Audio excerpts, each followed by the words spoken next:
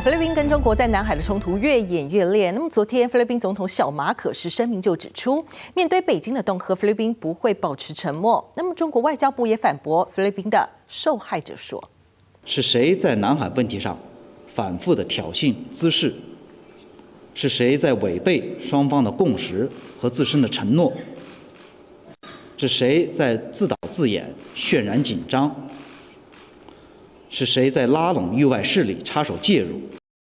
中国外交部长助理华春莹二十六号在个人 X 账号批评菲律宾记者不当剪辑南海冲突的影片，这也惹火了菲律宾外国记者协会，怒批中国在侮辱操守。那么对此，中国外交部发言人就回应，是菲律宾一直在滋事挑衅。立刻下载静新闻 App，一手掌握新闻时事，尽善尽美，尽好新闻。